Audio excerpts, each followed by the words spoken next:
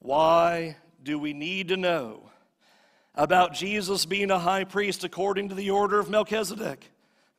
Why do we need to know that Jesus holds a priesthood that is permanent? By the power of his indestructible life, we would all be fine just to go, he's a better priest who's got a better covenant, who is in God's house. We would be great with that. We talk about that. We teach that. Why do we need this about Melchizedek? Verse 25 is the point. Verse 25.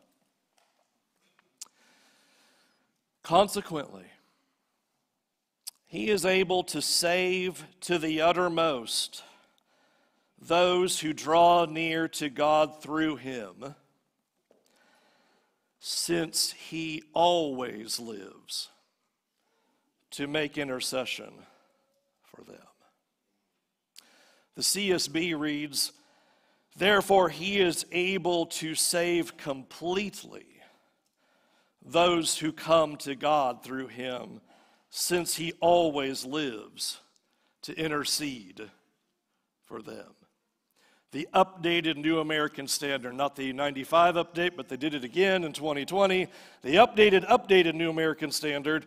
Therefore, he is also able to save forever there is this amazing picture that Jesus is able to save those who come to him completely. He is able to save them to the uttermost. He is able to save them all the way through, thoroughly and forever, because he lives to make intercession for us. And I want the words of verse 25 to truly sink into you for a moment.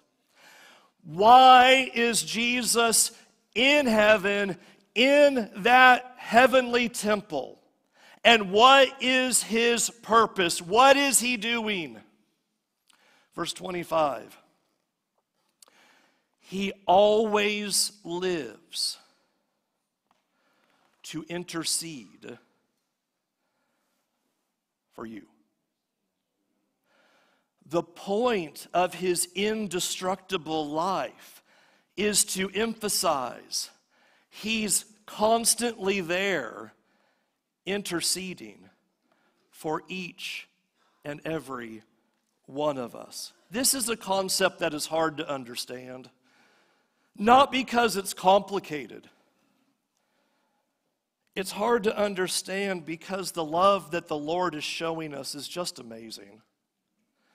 To read things like this, the, the book of Hebrews is filled with these kinds of statements about how God loves us. I'm blown away that earlier in the book that you have Jesus being said of us, he's not ashamed to call us brothers.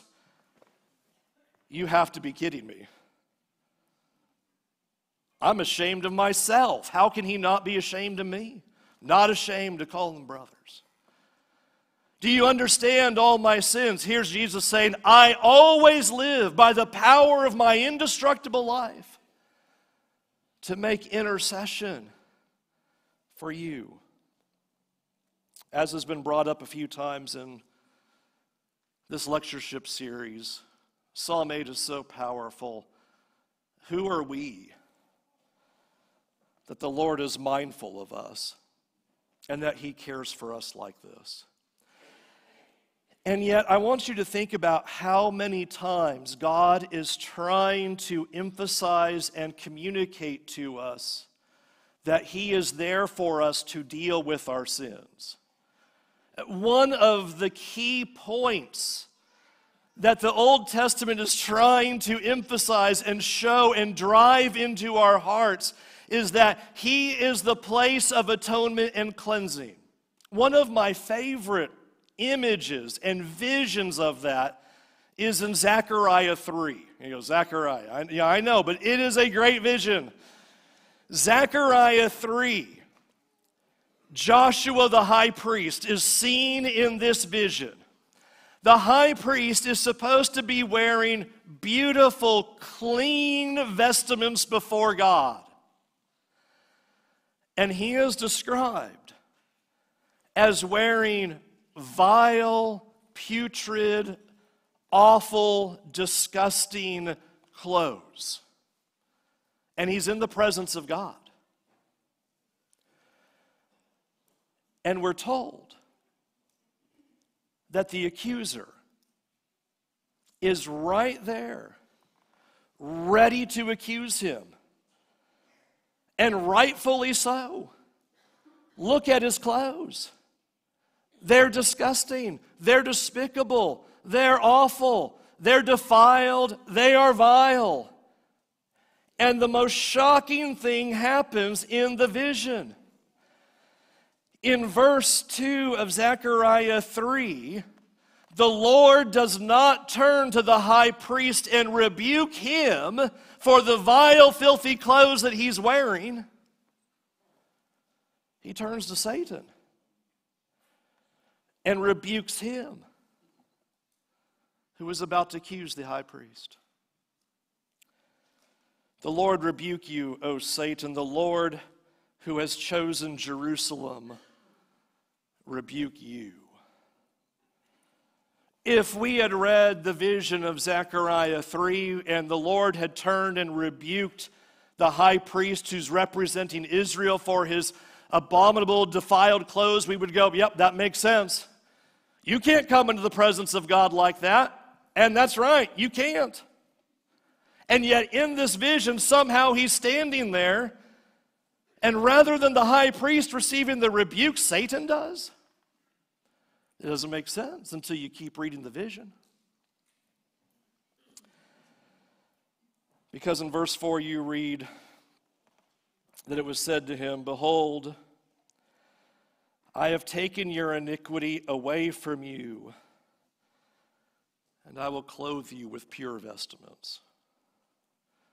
How many different ways does God say, I know you're filthy. I know you're dirty. I know you're full of sins. But I'm here to clean you. I'm here to take the accuser out of the picture and to cleanse those sins, to make intercession, to clean you up and set you right in my sight again. You know, as much as this is a stunning picture, that God is trying to show us that we are not too filthy for Him, that the mess is not too great, that the sins are not too deep or too vast or too grave, but that God is willing to take our filthiness and cleanse it. You can relate to this picture that God is giving to us. If you're a parent, I, am sure I'm not the only one who has experienced this when you had one of your little ones. I had a time when I was home with one of my little ones and my wife was out and I was sitting there in the rocking chair with her, rocking back and forth, just watching TV, thinking it was going to be a simple evening. All the parents laugh. when suddenly she decided it would be that moment to just simply fill me and the rocking chair with as much vomit as possible. When her head got done spinning, I looked down at myself and her, and I thought, what am I going to do now? There is no one to call. Here I am. And you know what I told my daughter? I told her, well, clearly, because you're so filthy, I'm going to have to trade you out for another daughter. I mean, you're gross. This is ridiculous. I didn't sign up for this. That was not in the manual when I said you're going to have kids, that that would happen. So clearly, I traded her out. No, what does the parent do? We figured out a way to gingerly and carefully get into the bathroom. And I got her into the tub. And I began to cleanse her. It's not hard to understand the image that God's trying to communicate to us as a father. That we sometimes look at this and go, oh, well, I'm too filthy. Well, you don't understand the relationship if you think so. We say, well, uh, you don't understand. Well, you don't understand the relationship if you think that. In fact, friends, the, the beautiful passage that we know so well the suffering servant of Isaiah 53. Don't forget to emphasize its ending. Therefore, I will divide him a portion with the many, and he shall divide the, the spoil with the strong. Because he poured out his soul to death and was numbered with the transgressors. Yet he bore the sins of many. Now, watch. Watch how it all ends. And makes intercession for the transgressors. God is trying to say it to us over and over and over again. I'm here to clean the filth. I'm here to wash the dirt. Your sins are not too great. Your filth is not too much. Just as a parent does not say, Well, I can't have this child anymore because of the filth, God does not say that to us. He says, I'll clean you up. Romans 8 is one of our favorite passages, isn't it? That ending. He says it there too. Romans 8, verse 32 What shall we say to these things? If God is for us, who can be against us? He who did not spare his own son, but gave him up for us all how will he not also with him graciously give us all things? How many times does God have to say to us, if I went this far in giving my son, you don't think I'm going to take you the rest of the way? He who did not spare his own son, but gave him up for us all will he not also graciously give us all things? Now, he's not done. Feel the Zechariah 3 picture. Who shall bring any charge against God's elect? You know, if I'm, if I'm right there, I'm writing in, well, there's a lot of people. Got a lot of sins, a lot of charges, a lot of accusations. God's answer it's God who justifies. Who is to condemn? Isn't that the scene of Zechariah 3? Here's the high priest, filthy clothes, accusations ready, condemnation coming. Who is to condemn Christ? Jesus is the one who died. More than that, who was raised, who is at the right hand of God, but don't miss it, who indeed is interceding for us. This is what verse 25 is driving at in Hebrews chapter 7.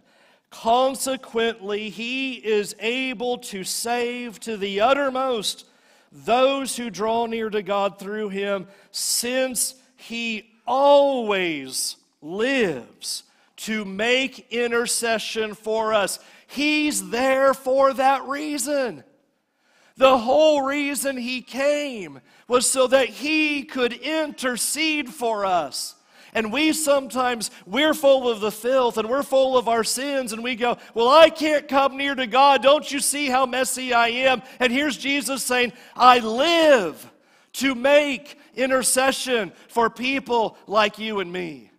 That's the whole point. Don't run from God, run to God. Look at verse 26 to drive that home. For it is indeed fitting that we should have such a high priest, holy, innocent, unstained, separated from sinners, and exalted above the heavens. He has no need, like those high priests, to offer sacrifices daily, first for his own sins, and then for those of the people since he did this once for all when he offered up himself. For a law appoints men in their weakness as high priests. But the word of the oath, and I'd say parenthesis, I think Psalm 110, The word of the oath, which came later than the law, appoints a son who has been made perfect forever. He lives to intercede because he died for us and rose from the dead, showing his indestructible life and becoming our high priest. All right, final couple minutes. Let's get to the so what, because that's where I started with this. The author of the book is writing to Christians who are suffering. And he tells them, You have need of endurance. He writes to Christians who are in prison. He's writing to Christians who have suffered loss. He's writing to Christians whose faith is weakening. He's writing to Christians who are having the tendency to drift away. He's writing to Christians who are on the brink of falling back. And he's bringing forward Melchizedek as the strong message of hope. He said that back in chapter 6 in verse 20, in verse 19 a hope that enters into the inner place behind the curtain. In verse 19 of chapter 7, he said, It is a better hope that is introduced. Melchizedek is the picture of the better hope. And here it is. You don't need to give up, even when you're suffering. And you don't need to give up if you're struggling with sin. You don't need to give up if you feel the burden and the guilt of your sinful ways. You don't need to give up if you feel like the filth is too much. Friends, you don't need to give up even if you have this sin that you say, I am so tired of this sin, but it keeps getting me for years and years and years, the picture that we are being given is don't give up. Don't fall back. Don't throw away this great hope that you have. Don't give up because you have a better hope. Jesus, verse 25, is able to completely save. Aren't you glad that didn't say he's able to partially save? You know, you, as long as you're doing half all right, he'll, he'll take care of the rest. No.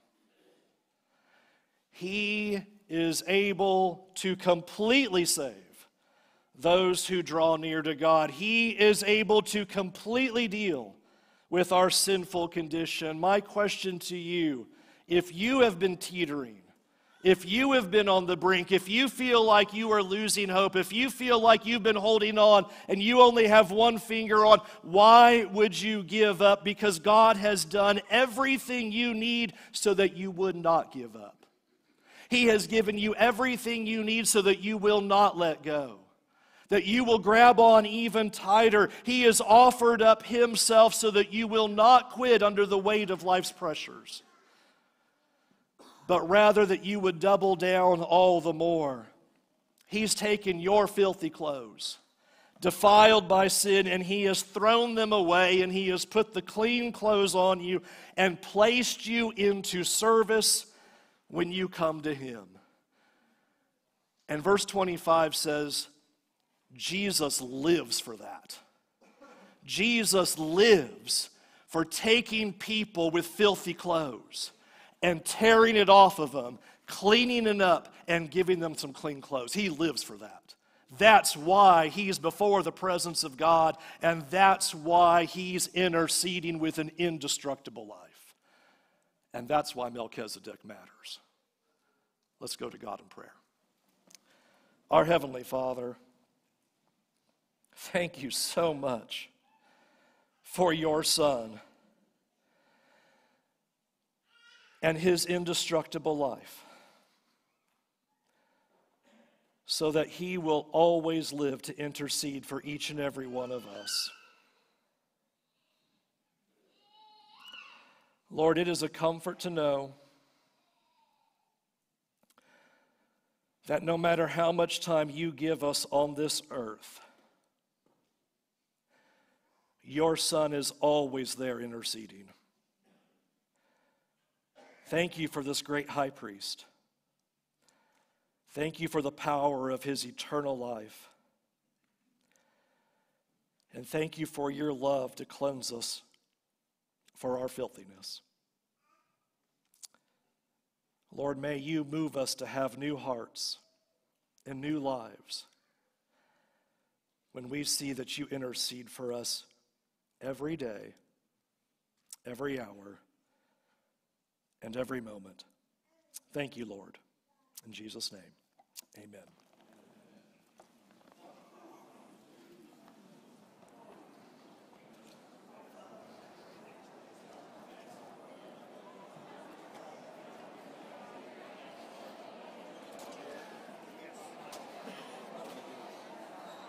Fantastic, Brent. Thank you. Appreciate that. so much. Thank you. Now I can get out of this crazy thing. I know. I, when I got to the,